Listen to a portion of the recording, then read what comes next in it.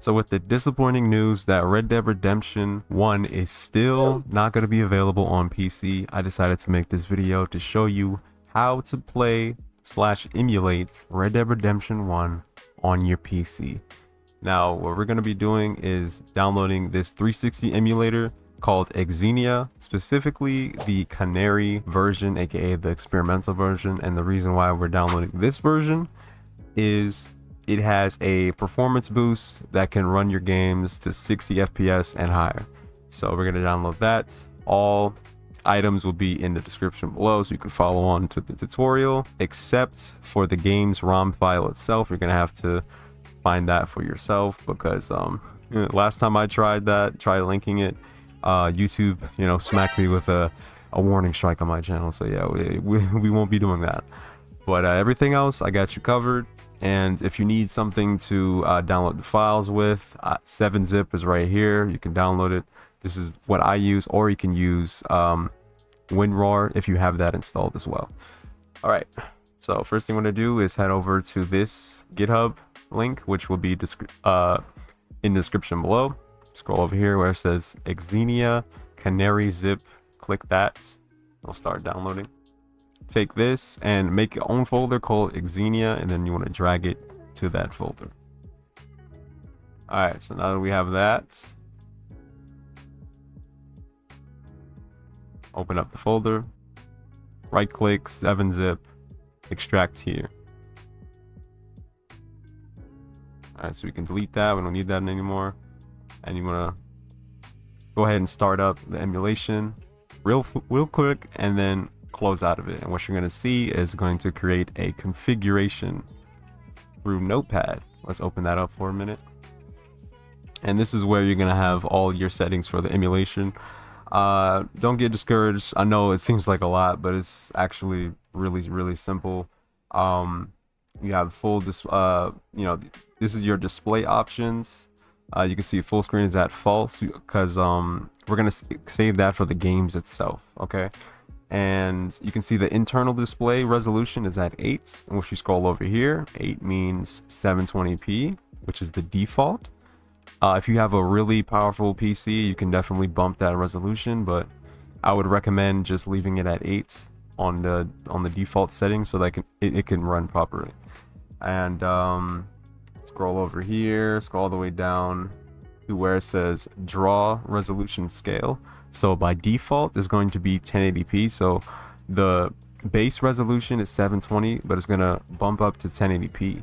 But if you want to bump it to 1440p, for example, you would um, just basically bump it up to 2 and you know vice versa if you want to do 4k or whatever but the point is you would need a really high powerful pc to even do such resolution so we're pretty much done here so you can just close out of this or if you change something and you want to stay click file and hit save and then close out of it.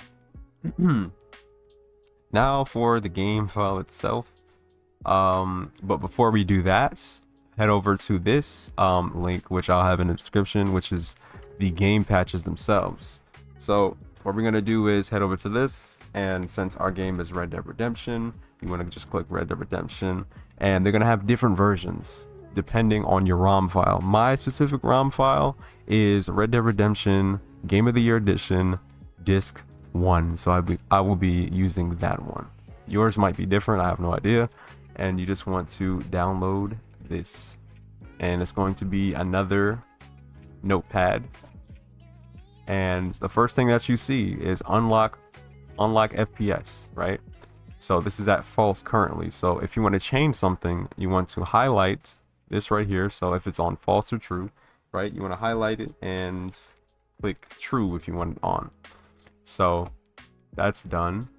And you can scroll all the way down. They have a bunch of different features. Like you can uh, disable uh, motion blur and depth of field. Uh, six, 16 times anti Scroptic filtering. I can never say that word right. and uh, what these do, uh, 60, you know, this basically just makes the game uh, um, a smaller resolution and then it upscales it to whatever resolution.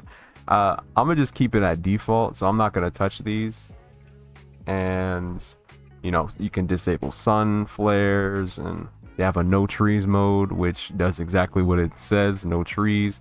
But it also can double your performance depending. But you know, it's just not for me personally. It's not worth having no trees in the game. You know, it just ruins the experience. Uh, you know, the whole entire experience. But yeah, you can just scroll down and see which you know patches you want. And this right here, which we're gonna change, which is the skip intro. Okay, so obviously when you start up a game, all Rockstar games typically has, oh, Rockstar games, this and that and stuff. So we're gonna change that, and we're gonna put true so that that way it just skips straight to the title screen so that's what we're gonna do and you know they have a bunch of different features like uh different cheats like infinite horse stamina uh bottomless clip and infinite ammo but we're not gonna touch none of those. So we're just gonna head over here and save what we already changed. So we're gonna save that and click out of that. And i forgot to mention to put the game file that you just edited into its own folder inside the Xenia folder called patches in all lowercase.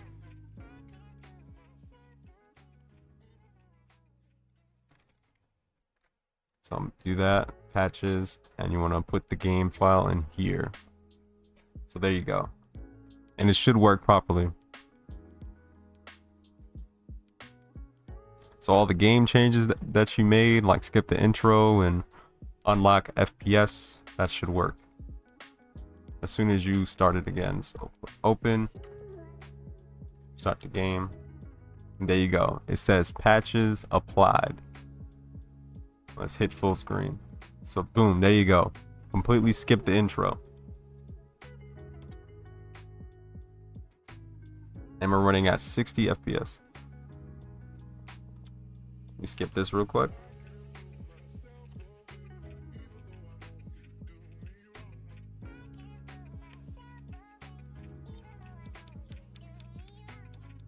So yeah, skip the intro. We're running at 60 FPS. However, there's a slight problem and I'm going to tell you how, how to fix it. So let's back, let's back out of this.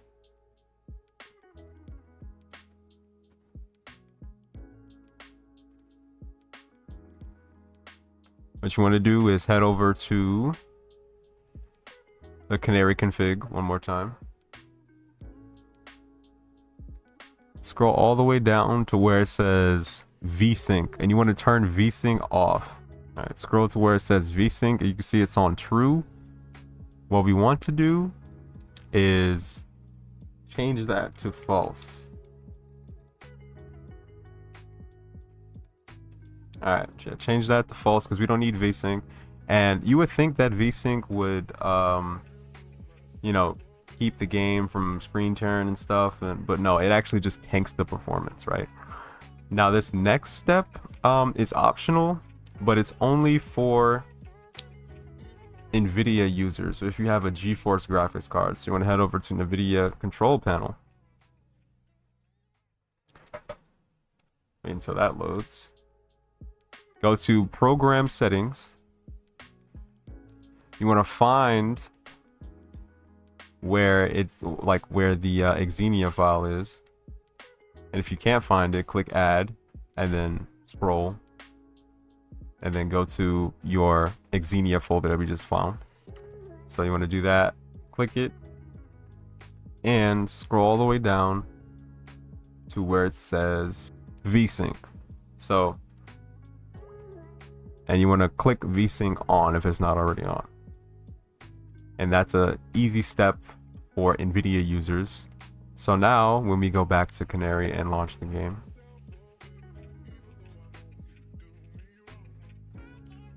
the performance is going to be way better than it was before.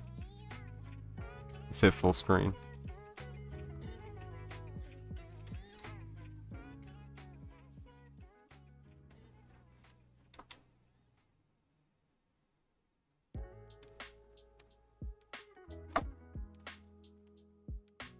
And now you can see the 60 frames per second. It's running buttery smooth too. And that's how you play Red Dead Redemption on your PC. It looks great and plays great as well.